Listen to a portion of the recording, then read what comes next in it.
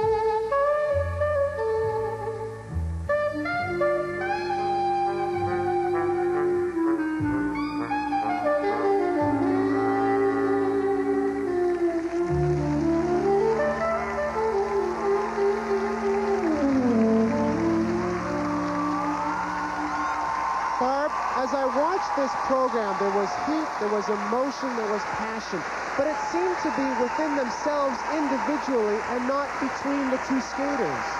Well, Paul, I think that Paul and Isabelle are really at a disadvantage because of the fact they are brother and sister.